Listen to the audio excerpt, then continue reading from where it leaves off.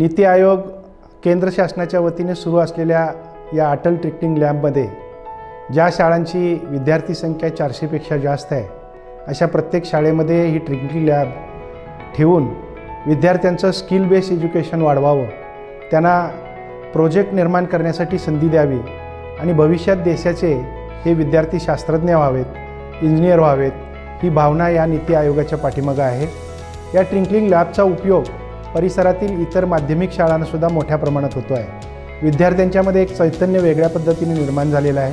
विद्यार्थी स्वतःहून self studied आणि स्वतःहून काहीतरी निर्माण करण्याच्या दृष्टीनं त्या प्रयोगशाळेचा उपयोग करून घेत आहेत. या प्रयोगशाळेच्या सर्व शिक्षक आणि विद्यार्थी यांना खूप चांगल्या पद्धतीने याचा उपयोग होतो आहे पूर्वीच्या शिक्षण पद्धतीमध्ये अशा पद्धतीची सुविधा नव्हती परंतु नीती आयोगाने निर्माण केलेली ही सुविधा एक विद्यार्थ्यांना खरंच वरदान ठरलेलं आहे आणि विद्यार्थी त्या दिशेनं वाटचाल करत आहेत once in classroom session Vishwas are ask information such as capitals about different states of India and it also history of states we are many of us not able to answer so I thought to create something which will give information about states we made three D doll and we have use I Arduino as D card model and speaker When power is supplied to Arduino, our doll able to speak some valuable information about different states of our country.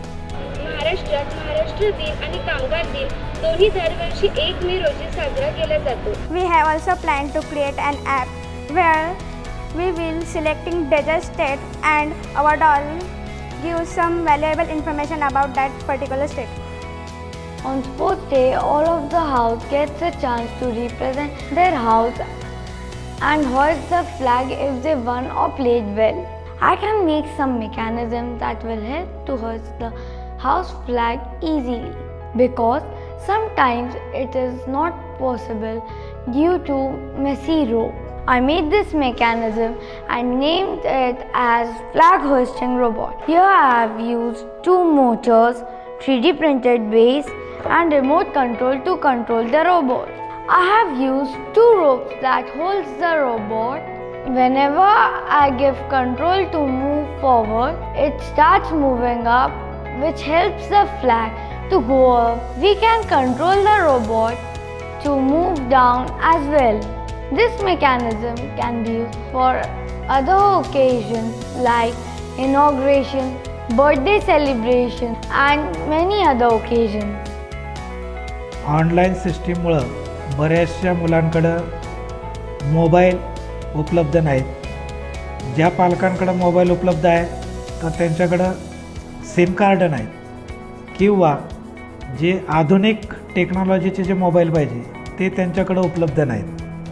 आणि त्यामुळं ऑनलाईनमुळं पुरेसं शिक्षण मुलांना मिळत नव्हतं. कारण की तो जर एवढ्या मोठ्या कालखंडामध्ये विद्यार्थी शिक्षणापासून जर बाहेर राहिला तर तो शैक्षणिक प्रवाहापासून बाहेर जाईल. यासाठी आमच्या संस्थेतील आणि आमच्या या शाखेतील शिक्षकांनी खूप कष्ट घेतलेले आहेत. आणि विद्यार्थ्यांना प्रत्यक्ष शिकत असताना वेगवेगळ्या ज्या संकल्पना असतात त्या समजून घेण्यासाठी शिक्षक हा वर्गातूनच त्या संकल्पना व्यवस्थितपणे समजावून देऊ शकतो.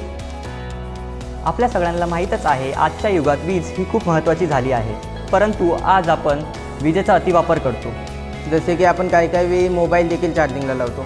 व रात्री झोपताना विसरून जातो व मोबाईल बरेच काळ चार्जिंग होत राहतो. त्यामुळे विजे वीज तर वाया जातेच. त्यासोबत अनेक धोके देखील निर्माण होतात. या समस्या टाळण्यासाठी व विजेची बचत करण्यासाठी आम्ही हा प्रोजेक्ट बनवलेला आहे. या प्रोजेक्टचं नाव आहे एनर्जी सेव्हिंग सिस्टम आपल्याला माहीत आहे की आपला मोबाईल साधारणपणे एक तासात चार्ज होतो. यासाठी आम्ही एक ॲप बनवलेला आहे ज्या ॲपमध्ये आपण एक तासाचं टाईम लिमिट सेट करायचं. त्यानंतर एक तास झाला की ऑटोमॅटिक पॉवर सप्लाय बंद होईल व मोबाईलचं चार्जिंग बंद होईल.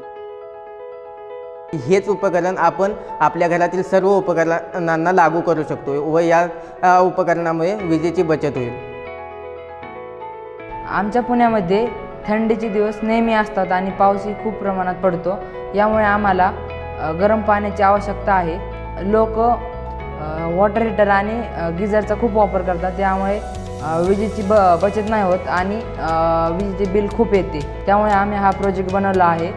हा प्रोजेक्ट बनवण्यासाठी लागणारे साहित्य वॉटर टँक टेबल लॅम्प आणि कॉपरचा पाईप आम्ही पाण्याच्या टाकीला हा पा पाण्याच्या टाकीच्या पाईपला आम्ही कॉपरचा कॉपरची वायर जोडलेली आहे. आणि ही वायर आम्ही टेबल लॅम्पच्या आतील भागात गुंडाळणी करून बाहेर काढलेली आहे. जेव्हा बल्ब चालू होईल तेव्हा बल्बातून निघणारी जी उष्णता आहे त्या उष्णतेमुळे कॉपरच्या पाईपमधून वाहणारे पाणी गरम होऊन आपल्याला बादलीमध्ये साठू शकतो. यामुळे आपल्याला लाईटीचाही वापर करता येतो आणि गरम पाणीही मिळेल.